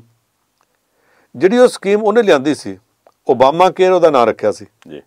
ਉਸ ਓਬਾਮਾ ਕੇਅਰ ਦੇ ਵਿੱਚ ਬੜੇ ਲੋਕ ਸੀ ਅੜੇ ਥੁੜੇ ਜਿਨ੍ਹਾਂ ਨੂੰ ਮੈਡੀਕਲ ਬੈਨੀਫਿਟ ਮਿਲਦਾ ਸੀ ਸਰਕਾਰ ਤੋਂ। ਜੀ। ਇਹਨੇ ਆ ਕੇ ਉਹ ਚ ਕਾਰਡ ਸ਼ਾਟ ਕਰ ਦਿੱਤੀ ਔਰ ਕਾਰਡ ਸ਼ਾਟ ਕਰਕੇ ਲੱਖਾਂ ਹੀ ਲੋਕ ਉਹ ਚੋਂ ਬਾਹਰ ਕੱਢ ਦਿੱਤੇ ਰੌਲਾ ਉੱਤੇ ਪਿਆ ਫਿਰਦਾ। ਤੇ ਜਦੋਂ ਪੁੱਛਿਆ ਗਿਆ ਕਿ ਤੁਸੀਂ ਕਿਉਂ ਕੀਤਾ? ਇਹਦੇ ਚ ਸਕੀਮ ਚ ਨੁਕਸ ਕੀ ਸੀ? ਇਹਨੇ ਦੋ ਤਿੰਨ ਨੁਕਸ ਗਿਣਾਏ। ਉਹ ਕਹਿੰਦੇ ਤੁਹਾਡੀ ਸਕੀਮ ਚ ਨਾਲੋਂ ਜ਼ਿਆਦਾ ਨੁਕਸ ਆ। ਫਿਰ ਕਹਿੰਦਾ ਸਿੱਧੀ ਜੀ ਗੱਲ। ਇਹ ਓਬਾਮਾ ਨੇ ਫੈਸਲਾ ਲਾਗੂ ਕੀਤਾ ਸੀ ਮੈਂ ਰੱਦ ਕਰਨਾ ਹੀ ਕਰਨਾ ਸੀ। ਸਾਰੀ ਦੁਨੀਆ 'ਚ ਇਸ ਵੇਲੇ ਵਾਤਾਵਰਣ ਦੀ ਚਿੰਤਾ ਕੀਤੀ ਜਾ ਰਹੀ ਹੈ ਕਿ এনवायरमेंट ਬਚਾਉਣਾ ਕਿ ਨਹੀਂ ਬਚਾਉਣਾ ਧਰਤੀ ਬਚੂ ਕਿ ਨਹੀਂ ਬਚੂ ਮਨੁੱਖਤਾ ਬਚੂ ਕਿ ਨਹੀਂ ਬਚੂ ਕਾਰਬਨ ਡਾਈਆਕਸਾਈਡ ਵਧੀ ਜਾਂਦੀ ਹੈ। ਕਿਹੜੇ ਕਿਹੜੇ ਦੇਸ਼ ਪੈਦਾ ਕਰਦੇ ਆ? ਪੈਰਿਸ ਦੇ ਵਿੱਚ ਇੱਕ ਸਮਝੌਤਾ ਹੋਇਆ। ਉਸ ਪੈਰਿਸ ਐਗਰੀਮੈਂਟ ਦੇ ਉੱਤੇ ਬਰਾਕ ਓਬਾਮਾ ਨੇ ਦੱਸ ਕੇ ਕਰ ਦਿੱਤੇ। ਸਾਰੀ ਦੁਨੀਆ ਦਾ ਸਮਝੌਤਾ। ਇਹਨੇ ਆ ਕੇ ਬੜੇ ਆਰਾਮ ਨਾਲ ਕਹਿਤਾ ਮੈਂ ਤਾਂ ਨਹੀਂ ਮੰਨਦਾ। ਹੂੰ। ਬਰਾਕ ਓਬਾਮਾ ਵਾਲਾ ਸਮਝੌਤਾ ਪੈਰਿਸ ਸਮਝੌਤੇ ਚੋਂ ਵੀ ਇਹ ਬਾਹਰ ਨਿਕਲ ਗਿਆ। ਅੱਛਾ ਯਾਨੀ ਇੱਕ ਇੱਕ ਕਰਕੇ ਇਹ ਸਾਰੇ ਉਹਨਾਂ ਸਮਝੌਤਿਆਂ ਚੋਂ ਬਾਹਰ ਨਿਕਲਦਾ ਜਾਂਦਾ। ਇਹੀ ਕਾਰਨ ਹੈ ਕਿ ਜਿਹੜਾ ਬਰਾਕ ਓਬਾਮਾ ਨੇ ਇਹ ਫੈਸਲਾ ਕੀਤਾ ਸੀ ਕਿ ਉਸ ਵਕਤ ਜਿਹੜੇ ਮਾਪਿਆਂ ਦੇ ਨਾਲ ਇਹ ਬੱਚੇ ਸਨ ਉਹਨਾਂ ਨੂੰ ਪੱਕੇ ਕੀਤਾ ਜਾਵੇਗਾ। ਉਹਨਾਂ ਨੂੰ ਇਹ ਫੈਸਿਲਿਟੀ ਦਿੱਤੀਆਂ ਜਾਣਗੀਆਂ ਬਰਾਬਰ ਦੇ ਸਿਟੀਜ਼ਨ ਮੰਨਿਆ ਜਾਵੇਗਾ। ਜੀ। ਹੁਣ ਆ ਕੇ ਨੇ ਉਹ ਵੀ ਫੈਸਲਾ ਕਰ ਦਿੱਤਾ। ਕਹਿੰਦਾ ਜੀ ਕੋਈ ਰਾਈਟ ਨਹੀਂ ਉਹਨਾਂ ਦੇ। ਹੂੰ ਹੂੰ ਹੂੰ। ਜਦੋਂ ਇਹਨੇ ਇਸ ਤਰ੍ਹਾਂ ਦਾ ਫੈਸਲਾ ਕੀਤਾ ਇਹਦੇ ਉੱਤੇ ਕੁਝ ਇਹੋ ਜੀਆਂ ਜਿਹੜੀਆਂ ਇੰਟਰਨੈਸ਼ਨਲ ਕਾਰਪੋਰੇਸ਼ਨਾਂ ਮਿਸਾਲ ਤੌਰ ਤੇ ਗੂਗਲ ਹੈ ਜੀ। ਮਾਈਕਰੋਸਾਫਟ ਹੈ ਇਹ ਸਾਰੀਆਂ ਕਾਰਪੋਰੇਸ਼ਨਾਂ ਦੇ ਮੁਖੀ ਇੱਕਦਮ ਭੜਕ ਉੱਠੇ ਕਿ ਸਾਡੇ ਕੋਲ ਤਾਂ ਹਜ਼ਾਰਾਂ ਦੀ ਗਿਣਤੀ 'ਚ ਉਹ ਲੋਕ ਕੰਮ ਕਰਦੇ ਆ ਜਿਹੜੇ ਮਾਪਿਆਂ ਨਾਲ ਇੱਥੇ ਆਏ ਸਨ ਲੰਮਾ ਸਮਾਂ ਇੱਥੇ ਰਹੇ ਜੀ। ਅਮਰੀਕਾ ਦੀ ਪੂਰੀ ਕਾਨੂੰਨੀ ਪ੍ਰਕਿਰਿਆ 'ਚੋਂ ਬਕਾਇਦਾ ਜਿਹੜਾ ਲੀਗਲ ਪ੍ਰੋਸੈਸ ਹੈ ਉਹ 'ਚੋਂ ਲੰਘ ਕੇ ਸਿਟੀਜ਼ਨ ਬਣ ਚੁੱਕੇ ਆ। ਜੀ। ਹੁਣ ਜੇ ਤੁਸੀਂ ਨਹੀਂ ਕੱਢਣਾ। ਫਿਰ H1B ਵੀਜ਼ਾ ਜਿਹੜਾ ਉੱਤੇ ਪਾਬੰਦੀਆਂ ਲਾਉਣੀਆਂ ਸ਼ੁਰੂ ਕਰਤੀਆਂ। ਜਿਹਦਾ ਕਰਕੇ ਬਾਹਰੋਂ ਲੋਕ ਨਾ ਜਾ ਸਕਣ। ਜੀ। ਸਾਰੀਆਂ ਕਾਰਪੋਰੇਸ਼ਨਾਂ ਕਹਿੰਦੀਆਂ ਨੇ ਕਿ ਤੇਰਾ ਫੈਸਲਾ ਗਲਤ ਹੈ ਉਹ ਕਹਿੰਦਾ ਮੇਰਾ ਫੈਸਲਾ ਠੀਕ ਹੈ। ਇਹ ਜਿੱਦਾਂ ਦੇ ਫੈਸਲੇ ਕਰਦਾ ਪਿਆ ਉਹਦਾ ਅਮਰੀਕਾ ਦੇ ਅੰਦਰ ਵੀ ਵਿਰੋਧ ਹੋ ਰਿਹਾ। ਔਰ ਹੁਣ ਅਮਰੀਕਾ ਦੇ ਆਪਣੇ 15 ਰਾਜਾਂ ਦੀਆਂ ਸਰਕਾਰਾਂ ਨੇ ਇਹਦੇ ਖਿਲਾਫ ਅਦਾਲਤ ਵਿੱਚ ਕੇਸ ਕਰ ਦਿੱਤਾ ਕਿ ਫੈਸਲਾ ਗਲਤ ਕਰ ਰਿਹਾ ਅਮਰੀਕਾ 'ਚ ਹਾਲਾਤ ਖਰਾਬ ਕਰੇਗਾ ਅਸੀਂ ਇਹਦੇ ਫੈਸਲੇ ਨਾਲ ਸਹਿਮਤ ਨਹੀਂ। ਅੱਗੇ ਇਹਦੇ ਕਈ ਫੈਸਲੇ ਜਿਹੜੇ ਆ ਪਹਿਲਾਂ ਲੋਅਰ ਕੋਰਟਸ ਨੇ। ਜੀ। ਫਿਰ ਸਾਰੇ ਦੇਸ਼ ਦੀ ਸੁਪਰੀਮ ਕੋਰਟ ਨੇ ਸਟੇ ਕੀਤੇ ਸੀ। ਲੱਗਦਾ ਇਹ ਹੈ ਕਿ ਆਹ ਮਾਮਲਾ ਇੱਕ ਵਾਰੀ ਫਿਰ ਇਹਦੀ ਬਦਨਾਮੀ ਦਾ ਕਾਰਨ ਬਣੇਗਾ। ਜੀ ਸੋ ਕੁੱਲ ਮਿਲਾ ਕੇ ਆਪਾਂ ਇਹ ਕਹਿ ਸਕਦੇ ਗੋਰਾ ਥੋੜਾ ਜਿਹਾ ਆਪ ਹੁਦਰਾ ਤੇ ਇਹੋ ਜਿਹੇ ਕੰਮ ਉਹ ਕਰਦਾ। ਹੈ। ਪਿਛਲੇ ਜੇ ਜਿਹੜੇ ਹੈਗੇ ਸੀ ਵਾਈਟ ਸੁਪੀਰੀਅਰਿਸਟ ਜਿਹੜੇ ਸਮਝਦੇ ਸੀ ਕਿ ਅਸੀਂ ਗੋਰੀ ਨਸਲ। ਹੈ ਬਾਕੀ ਦੁਨੀਆ ਤੇ ਰਾਜ ਕਰਨ ਵਾਸਤੇ ਜੰਮੇ ਆ ਹੂੰ। ਉਹਨਾਂ ਨੇ ਇੱਕ ਬੜੀ ਵੱਡੀ ਰੈਲੀ ਕੀਤੀ ਉਹਦੇ ਵਿਰੋਧ 'ਚ ਵੀ ਇੱਕ ਰੈਲੀ ਹੋਈ ਉਹਨਾਂ ਦੀ ਜਿਨ੍ਹਾਂ ਨੇ ਆਖਿਆ ਜੀ ਸਾਰੀਆਂ ਨਸਲਾਂ ਬਰਾਬਰ ਹੁੰਦੀਆਂ। ਉੱਥੇ ਟਕਰਾਅ ਹੋ ਗਿਆ। ਉਹ ਟਕਰਾਅ ਦੇ ਵਿੱਚ ਸਾਰੇ ਅਮਰੀਕਨ ਪੋਲੀਟੀਸ਼ੀਅਨ ਜਿਹੜੇ ਨੇ ਉਹਨਾਂ ਆਮ ਤੌਰ ਤੇ ਗੋਰੇ ਸੁਪੀਰੀਅਰਿਸਟ ਜਿਹੜੇ ਸੀ ਉਹਨਾਂ ਦਾ ਵਿਰੋਧ ਕੀਤਾ। ਕਿ ਆਪਣੇ ਆਪ ਨੂੰ ਕੌਣ ਕਹਿਣ ਵਾਲੇ ਹੁੰਦੇ ਕਿ ਅਸੀਂ ਬਹੁਤ ਸਭ ਤੋਂ ਵਧੀਆ। ਡੋਨਲਡ ਟਰੰਪ ਉੱਥੇ ਵੀ ਉਹਨਾਂ ਦੇ ਪੱਖ 'ਚ ਬੋਲਿਆ। ਜਿਹੜੇ ਬਾਕੀ ਬਰਾਬਰੀ ਵਾਲੇ ਸੀ ਉਹਨਾਂ ਦੇ ਪੱਖ 'ਚ ਘੱਟ ਬੋਲਿਆ। ਇਹ ਥੋੜਾ ਜਿਹਾ ਇਹਦੀ ਨੀਤੀ ਦੇ ਵਿੱਚ ਇਹਦੀ ਸੋਚ ਵਿੱਚ ਜਿਵੇਂ ਤਕੜੀ ਦੀ ਕਾਣੀ ਡੰਡੀ ਹੁੰਦੀ ਹੈ ਨਾ। ਇਹਦੀ ਪਹੁੰਚ ਇਹਦੀ ਅਕਲ ਉਹ ਜਿਹੜੀ ਡੰਡੀ ਥੋੜੀ ਜਿਹੀ ਕਾਣੀ ਹੈ ਇੱਕ ਸ਼ਾਬਾ ਇੱਕ ਪਾਸੇ ਨੂੰ ਤੁਲਦਾ। ਜੀ। ਪਨੂ ਸਾਹਿਬ ਨੇ ਬੜੀ ਚੰਗੀ ਤਰ੍ਹਾਂ ਆਪਾਂ ਨੂੰ ਸਮਝਾਇਆ ਜੀ ਕਿ ਅਸਲ ਦੇ ਵਿੱਚ ਟਰੰਪ ਸਾਹਿਬ ਸ਼ੈ ਕੀ ਨੇ। ਆਉਣ ਵਾਲੇ ਦਿਨਾਂ 'ਚ ਉਹ ਕੀ ਕਰਦੇ ਆ ਤੇ ਅਦਾਲਤਾਂ ਕੀ ਫੈਸਲਾ ਸੁਣਾਉਂਦੀਆਂ ਨੇ ਇਹ ਸਾਹਮਣੇ ਆਏਗਾ। ਫਿਲਹਾਲ ਵੇਲਾ ਇੱਕ ਬ੍ਰੇਕ ਦਾ ਬ੍ਰੇਕ ਤੋਂ ਬਾਅਦ ਮਿਲਦੇ ਹਾਂ।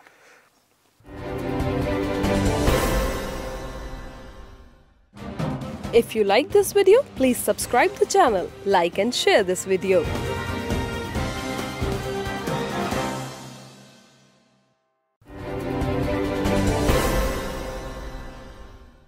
Break ਤੋਂ ਬਾਅਦ ਇੱਕ ਵਾਰ ਫਿਰ ਤੁਹਾਡਾ ਸਾਰਿਆਂ ਦਾ ਸਵਾਗਤ ਹੈ ਜੀ ਪ੍ਰੋਗਰਾਮ ਪ੍ਰਾਈਮ ਡਿਸਕਸ਼ਨ 'ਚ। ਪਨੂ ਸਾਹਿਬ ਪੰਜਾਬ ਦੇ ਵਿੱਚ ਤਾਂ ਪੈਨਸ਼ਨਾਂ ਦੇ ਘਟਾਲੇ ਘਟੂਲੇ ਬੜੇ ਫੜੇ ਗਏ ਤੇ ਗਵਾਂਢੀ ਨੂੰ ਵੇਖ ਕੇ ਗਵਾਂਢੀ ਨੇ ਕਹਿੰਦੇ ਵੀ ਹੁਣ ਰੂਪ ਦਿਖਾਇਆ ਹਰਿਆਣੇ 'ਚ ਇੱਕ ਵੱਡਾ ਘਟਾਲਾ ਪੈਨਸ਼ਨਾਂ ਦਾ ਜਿਹੜਾ ਸਾਹਮਣੇ ਆਇਆ ਉਹਦੇ ਬਾਰੇ ਜ਼ਰੂਰ ਦੱਸੋ। ਦੇਖੋ ਜੇ ਤਾਂ ਹੁੰਦਾ ਛੋਟਾ ਮੋਟਾ ਘੁਟਾਲਾ ਜੀ। ਅਸੀਂ ਸਮਝਣਾ ਸੀ ਕਿ ਗਵਾਂਢੀ ਦਾ ਰੂਪ ਨਹੀਂ ਆਉਂਦਾ ਤੇ ਮੱਤ ਆ ਜਾਂਦੀ ਇਹਨਾਂ ਨੇ ਪੰਜਾਬ ਵਾਲਿਆਂ ਤੋਂ ਸਿੱਖਿਆ ਹੋਵੇਗਾ। ਹੂੰ। ਪਰ ਜਿਹੜਾ ਹਰਿਆਣੇ 'ਚ ਘੁਟਾਲਾ ਨਿਕਲਿਆ ਜੀ। ਓਡਾ ਵੱਡਾ ਘੁਟਾਲਾ ਤੇ ਅਜੇ ਤੱਕ ਹਿੰਦੁਸਤਾਨ ਦੀ ਕਿਸੇ ਸਟੇਟ 'ਚ ਨਿਕਲਿਆ ਹੀ ਨਹੀਂ। ਸਾਡੇ ਕੋਲ ਅੰਮ੍ਰਿਤਸਰ ਜ਼ਿਲ੍ਹੇ 'ਚ 450 ਪੈਨਸ਼ਨਾਂ ਜਾਲੀ ਨਿਕਲੀਆਂ। ਜੀ। ਤੇ ਜੇ 22 ਜ਼ਿਲ੍ਹਿਆਂ ਦੀਆਂ ਰਲਾਈਏ ਤੇ ਇਹੋ ਹੀ ਐਵਰੇਜ ਲਾ ਲਈਏ ਤੇ ਲਿਆ ਕੇ ਕਿੰਨੀਆਂ? 11 12000 ਪੈਨਸ਼ਨਾਂ ਨਿਕਲਣਗੀਆਂ। ਤੁਸੀਂ ਵਧਾ ਦਿਓ। ਦੁਗਣੀਆਂ ਕਰ ਦਿਓ 22000 ਨਿਕਲਣਗੀਆਂ। ਜੀ ਜੀ। ਤੁਸੀਂ 10 ਗੁਣੀਆਂ ਕਰ ਦਿਓ 1 ਲੱਖ 10000 ਨਿਕਲਣਗੀਆਂ। ਇਹ ਤੋਂ ਵੱਧ ਤਾਂ ਨਹੀਂ ਨਿਕਲਣਗੀਆਂ। ਜੀ ਜੀ ਬਿਲਕੁਲ। ਹਰਿਆਣੇ ਦੇ ਵਿੱਚ ਜਿਹੜਾ ਪੈਨਸ਼ਨ ਘੁਟਾਲਾ ਨਿਕਲਿਆ ਇਹ ਮਨ ਕਰੜਾ ਕਰਕੇ ਸੁਣਨਾ ਪੈਂਦਾ। ਹੂੰ। 3 ਲੱਖ 42 ਹਜ਼ਾਰ ਪੈਨਸ਼ਨਾਂ ਜਾਲੀ ਨਿਕਲੀਆਂ। ਓਏ ਹੋਏ ਤੁਹਾਡਾ ਹਰਿਆਣਾ ਸਾਡੇ ਪੰਜਾਬ ਤੋਂ ਛੋਟਾ। ਹੂੰ ਹੂੰ ਨਿਕਲੀਆਂ ਕਿਦਾਂ? ਆਧਾਰ ਕਾਰਡ ਦੇ ਨਾਲ। ਜੀ। ਉਹਨਾਂ ਚੋਂ 1 ਲੱਖ 76 ਹਜ਼ਾਰ ਯਾਨੀ ਪੌਣੇ 2 ਲੱਖ ਪੈਨਸ਼ਨਾਂ ਉਹ ਆ ਜਿਹੜੀਆਂ ਡਬਲਿੰਗ ਹੋਈ ਆ। ਇੱਕ ਪਿੰਡ 'ਚ ਪੈਨਸ਼ਨ ਲੈਂਦਾ ਫਿਰ ਦੂਸਰੇ ਜ਼ਿਲ੍ਹੇ ਜਾ ਕੇ ਉੱਥੇ ਪੈਨਸ਼ਨ ਲਵਾ ਲਈ ਉੱਥੇ ਲਈ ਜਾ ਰਿਹਾ। ਹੂੰ ਹੂੰ ਹੂੰ ਹੂੰ। ਜਦੋਂ ਆਖਿਆ ਆਧਾਰ ਕਾਰਡ ਜੋੜੋ ਇਹਦੇ ਨਾਲ। ਜੀ। ਆਧਾਰ ਕਾਰਡ ਉੱਥੇ ਜੋੜਿਆ ਉੱਥੇ ਜੋੜਿਆ ਪਤਾ ਲੱਗ ਗਿਆ। ਹੂੰ ਹੂੰ ਹੂੰ। ਕਿ ਤਾਂ ਉੱਥੇ ਵੀ ਲੈ ਰਿਹਾ ਤੇ ਉੱਥੇ ਵੀ ਲੈ ਰਿਹਾ। ਅੱਛਾ ਜੀ। ਪੌਣੇ 2 ਲੱਖ ਪੈਨਸ਼ਨਾਂ ਇਹੋ ਜੀਆਂ ਜਿਹੜੀਆਂ ਲੋਕੀ ਦੋ ਦੋ ਥਾਵਾਂ ਤੇ ਲੈ ਰਹੇ ਸੀ। ਹੂੰ ਹੂੰ ਹੂੰ। ਹੋਰ ਸੁਣੋ। 38000 ਪੈਨਸ਼ਨਾਂ ਉਹ ਨਿਕਲੀਆਂ ਜਿਹੜੇ ਬੰਦੇ ਦੂਜੇ ਸੂਬਿਆਂ ਤੋਂ ਆਏ। ਜੀ। ਕੋਈ ਯੂਪੀ ਤੋਂ ਆਇਆ ਕੋਈ ਬਿਹਾਰ ਤੋਂ ਆਇਆ ਪੰਜਾਬ ਦੇ ਵੀ ਹੋਣਗੇ। ਜਿਹੜੇ ਆਪਣੀ ਸਟੇਟ ਵਿੱਚ ਜਿੱਥੇ ਜੰਮੇ ਪੜੇ ਜਿੱਥੇ ਉਹਨਾਂ ਦਾ ਜੱਦੀ ਘਰ ਉੱਥੇ ਵੀ ਪੈਨਸ਼ਨ ਲੈ ਰਿਹਾ। ਤੇ ਹਰਿਆਣੇ 'ਚ ਵੀ ਆ ਕੇ ਲੈ ਰਿਹਾ। ਜੀ। ਤੇ ਆਧਾਰ ਕਾਰਡ ਜਦੋਂ ਦਿੱਤਾ ਤੇ ਉਹਨਾਂ ਨੂੰ ਇਹ ਨਹੀਂ ਪਤਾ ਕਿ ਵੋਟਰ ਲਿਸਟਾਂ ਮਿਲਣ ਨਾ ਮਿਲਣ ਆਧਾਰ ਕਾਰਡ ਤੇ ਫਟ ਦੱਸਦਾ ਕਿ ਪੁਰਾਣੇ ਸੂਬੇ 'ਚ ਵੀ ਆ। ਉਹਦੇ 'ਚ 38000 ਉਹ ਨਿਕਲਿਆ। ਅੱਛਾ ਜੀ। ਮੈਂ ਚ ਯੂਪੀ ਜਿਹੜਾ ਹੈਗਾ ਬਿਹਾਰ ਉਹਨਾਂ ਦੇ ਨਾਲ ਪੰਜਾਬ ਦਾ ਨਾਂ ਇਸ ਕਰਕੇ ਲਿਆ ਕਿ ਸਾਡੇ ਇੱਥੇ ਮੁਕਤਸਰ ਜ਼ਿਲ੍ਹੇ 'ਚ ਕਈ ਵਾਰੀ ਰੌਲਾ ਪੈ ਚੁੱਕਾ। ਕਿ ਪਰਲੇ ਪਾਸੇ ਸਿਰਸੇ ਹਿਸਾਰ 'ਚ ਇੱਕ ਸਾਬਕਾ ਮੁੱਖ ਮੰਤਰੀ ਦਾ ਪਰਿਵਾਰ ਜਿਹੜੀਆਂ ਸੀਟਾਂ ਤੋਂ ਚੋਣ ਲੜਦਾ ਉੱਥੇ ਹਰ ਵਾਰੀ 5-10 ਹਜ਼ਾਰ ਵੋਟਾਂ ਪੰਜਾਬੀਆਂ ਦੀਆਂ ਹੁੰਦੀਆਂ। ਤੇ ਉਰਲੇ ਪਾਸੇ ਸਾਡੇ ਇੱਕ ਸਾਬਕਾ ਮੁੱਖ ਮੰਤਰੀ ਦਾ ਪਰਿਵਾਰ ਜਿੱਥੇ ਲੜਦਾ ਜੀ। ਉੱਥੇ 5-7 ਹਜ਼ਾਰ ਵੋਟਾਂ ਹਰਿਆਣੇ ਦੀਆਂ ਹੁੰਦੀਆਂ। ਤੇ ਜੇ ਵੋਟਾਂ ਬਣਦੀਆਂ ਤੇ ਪੈਨਸ਼ਨਾਂ ਦੀਆਂ ਸੋਟਾਂ ਵੀ ਹੋਈ- ਹੋਈਆਂ ਹੋ ਸਕਦੀਆਂ। ਹੂੰ ਹੂੰ ਹੂੰ। ਇਦਾਂ ਦੇ ਚੱਕਰ ਬੜੇ ਨੇ। ਹੁਣ ਇਹਦੇ ਤੋਂ ਬਾਅਦ ਇਹ ਪੰਜਾਬ ਦੀ ਸਰਕਾਰ ਦਾ ਕੰਮ ਹੈ। ਹਰਿਆਣੇ ਵਾਲਿਆਂ ਨੇ ਲੱਭ ਲਿਆ ਕਿ ਹਰ ਸਾਲ 1000 ਕਰੋੜ ਰੁਪਈਆ ਜੀ। ਜਾਲੀ ਪੈਨਸ਼ਨਾਂ ਉੱਤੇ ਇਦਾਂ ਜਾ ਰਿਹਾ। ਅਜੇ ਕੁੱਲ ਗਿਣਤੀ ਮਿਣਤੀ ਸ਼ਾਇਦ 1000 ਕਰੋੜ ਤੋਂ ਵੀ ਵੱਧ ਜਾਵੇ। ਹੂੰ। ਤੇ ਜੇ ਉਹਨਾਂ ਦਾ ਤੇ ਮੈਨੂੰ ਇਹ ਯਕੀਨ ਹੈ ਜੇ ਪੁਣਛਾਣ ਕੀਤੀ ਜਾਵੇ ਤੇ ਪੰਜਾਬ ਫਾੜੀ ਰਹਿਣ ਵਾਲਾ ਨਹੀਂ ਇਹ ਹੋ ਸਕਦਾ ਕਿ ਉਹਨਾਂ ਦੇ 3 ਲੱਖ 42 ਹਜ਼ਾਰ ਤੋਂ ਵੱਧ ਇਹ 3 ਲੱਖ 84 ਹਜ਼ਾਰ ਤੱਕ ਵੀ ਚੱਲ ਜਾਵੇ। ਜਰਾ ਵਾਹਵਾ ਛਾਣਾ ਲਾਉਣ ਦੀ ਲੋੜ ਹੈ। ਸੋ ਇਥੋਂ ਆਪਾਂ ਅੰਦਾਜ਼ਾ ਲਾ ਸਕਦੇ ਹਾਂ ਕਿ ਮੁਲਕ ਨੂੰ ਕਿਦਾਂ ਤਰੱਕੀ ਦੇ ਰਾਹ ਤੇ ਇਸ ਵਕਤ ਲਿਜਾਇਆ ਜਾ ਰਿਹਾ। ਹੈ ਇੱਕ ਆਖਰੀ ਸਵਾਲ ਥੋੜੇ ਸਮੇਂ 'ਚ ਮੈਂ ਚਾਹੁੰਦਾ ਜ਼ਰੂਰ ਜਵਾਬ ਦਿਓ। ਪੰਜਾਬ 'ਚ ਫਿਰ ਦੋ ਤਰ੍ਹਾਂ ਦੇ ਕਤਲ ਹੋਏ ਆ ਜੀ। ਇੱਕ ਥਾਂ ਇਹ ਚਰਚਾ ਹੈ ਵੀ ਗੈਂਗਸਟਰ ਮਾਰਿਆ ਗਿਆ ਦੂਸਰੀ ਥਾਂ ਇੱਕ ਕਾਉਂਸਲਰ ਦਾ ਪਤੀ ਮਾਰਤਾ ਗਿਆ। ਇਹ ਖੂਨ ਖਰਾਬਾ ਰੋਕ ਨਹੀਂ ਰਿਹਾ ਜੀ। ਗੈਂਗਾਂ ਦੀ ਵਾਰਤਾ ਬੜੇ ਚਿਰ ਦੀ ਚੱਲ ਰਹੀ ਸਾਡੇ ਪੰਜਾਬ ਦੇ ਵਿੱਚ 15 16 ਗੈਂਗ ਅਜੇ ਵੀ ਵੱਡੇ ਸਰਗਰਮ ਨੇ। ਉਹਦਾ ਛੋਟੇ ਹੋਰ ਵੀ ਨੇ। ਵੱਡੇ। ਉਹ ਇੱਕ ਦੂਜੇ ਦੇ ਬੰਦੇ ਵੀ ਮਾਰਦੇ ਹਨ। ਸਪਾਰੀ ਲੈ ਕੇ ਆਮ ਲੋਕਾਂ ਦੇ ਕਤਲ ਵੀ ਕਰ ਰਹੇ ਨੇ। ਜੀ। ਜ਼ਮੀਨਾਂ ਜਾਇਦਾਦਾਂ ਦੇ ਚੱਕਰ ਵਿੱਚ ਵੀ ਕਤਲ ਕਰਦੇ ਨੇ। ਤੇ ਉਸੇ ਚੱਕਰ 'ਚ ਗੜ ਸ਼ੰਕਰ 'ਚ ਇੱਕ ਮੁੰਡਾ ਮਾਰ ਦਿੱਤਾ ਗਿਆ ਜਿਹਦੇ ਉੱਤੇ 5-6 ਕੇਸ ਸੀ।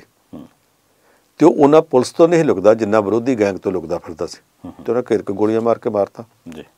ਅਗਲੇ ਦਿਨਾਂ 'ਚ ਹੋਰ ਵੀ ਇਹੋ ਜਿਹੇ ਕਤਲ ਹੋ ਸਕਦੇ।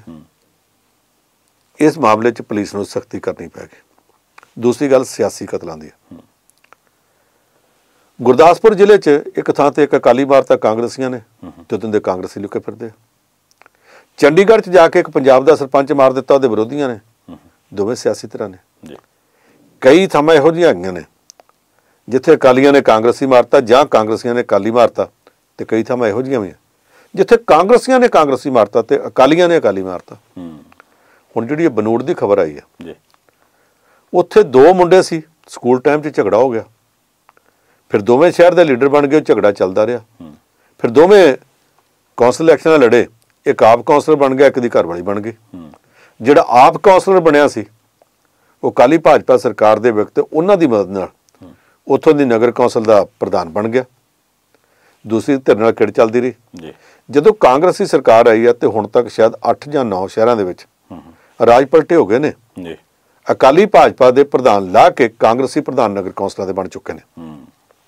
ਬਨੂੜ ਵਿੱਚ ਵੀ ਗੱਲ ਚੱਲਦੀ ਪਈ ਸੀ। ਜਿਹੜੇ ਦੋ ਮੁੰਡੇ ਬਚਪਨ ਤੋਂ ਸਕੂਲ ਤੋਂ ਲੈ ਕੇ ਲੜਦੇ ਆਏ ਸੀ। ਜੀ।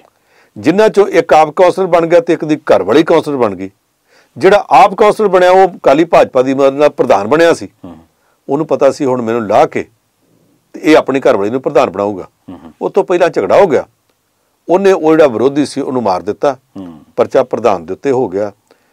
ਇਹ ਇਸ ਤਰ੍ਹਾਂ ਦੀ ਇੱਕ ਘਟਨਾ ਵਾ ਪਰ ਇੱਕੋ ਇੱਕ ਨਹੀਂ ਇਹ ਪਹਿਲੀ ਵੀ ਨਹੀਂ।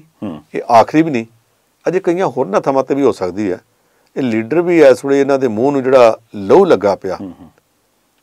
ਇਹਨੂੰ ਜੇ ਰੋਕਿਆ ਨਾ ਗਿਆ ਤੇ ਖੂਨ ਖਰਾਬਾ ਵੱਧ ਸਕਦਾ। ਜੀ। ਇੱਕ ਸਰਕਾਰ ਹੁੰਦੀ ਹੈ ਸਿਆਸੀ ਜੀ। ਇੱਕ ਸਰਕਾਰ ਹੁੰਦੀ ਹੈ ਜਿਹਨੂੰ ਸਟੇਟ ਮਸ਼ੀਨਰੀ ਕਹਿੰਦੇ ਆ।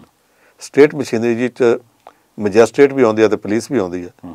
ਉਹਨਾਂ ਨੂੰ ਕਾਨੂੰਨ ਦੇ ਮੁਤਾਬਕ ਕਾਰਵਾਈ ਕਰਨੀ ਪਵੇਗੀ ਨਹੀਂ ਤੇ ਸਿਆਸੀ ਲੀਡਰ ਆਉ ਲਾਉਂਦੇ ਰਹਿਣਗੇ ਖੂਨ ਵਗਦਾ ਰਹੇਗਾ। ਮਨੂ ਸਾਹਿਬ ਤੁਸੀਂ ਵੱਡੀ ਡਿਟੇਲ ਦੇ ਵਿੱਚ ਸਾਰਾ ਕੁਝ ਸਮਝਾਇਆ, ਤੁਹਾਡਾ ਬਹੁਤ ਬਹੁਤ ਧੰਨਵਾਦ ਜੀ। ਫਿਲਹਾਲ ਇਹ ਵੇਲਾ ਖਤਮ ਹੋ ਰਿਹਾ ਜੀ, ਪ੍ਰੋਗਰਾਮ ਪ੍ਰਾਈਮ ਡਿਸਕਸ਼ਨ ਦਾ ਇੱਥੇ ਹੀ। ਤੁਸੀਂ ਆਪਣੀ ਫੀਡਬੈਕ ਸਾਡੇ ਤੱਕ ਜ਼ਰੂਰ ਪਹੁੰਚਾਇਆ ਕਰੋ ਜੀ। ਸਾਨੂੰ ਅੱਛਾ ਲੱਗਦਾ ਹੈ, ਸਾਨੂੰ ਇਹ ਪਤਾ ਲੱਗਦਾ ਹੈ ਕਿ ਸਾਨੂੰ ਹੋਰ ਕਿੱਥੇ ਕਿੱਥੇ ਕਿਹੜੀ ਕਿਹੜੀ ਚੀਜ਼ ਇੰਪਰੂਵ ਕਰਨ ਦੀ ਲੋੜ ਹੈ। ਪ੍ਰਾਈਮ ਏਸ਼ੀਆ ਟੀਵੀ ਨੂੰ ਪਿਆਰ ਦੇਣ ਲਈ ਤੁਹਾਡਾ ਸਾਰਿਆਂ ਦਾ ਬਹੁਤ ਬਹੁਤ ਧੰਨਵਾਦ। ਫਿਲਹਾਲ ਇਜਾਜ਼ਤ, ਦੇਖਦੇ ਰਹੋ ਪ੍ਰਾਈਮ ਏਸ਼ੀਆ ਟੀਵੀ ਤੁਹਾਡਾ ਆਪਣਾ, ਤੁਹਾਡੇ ਲਈ।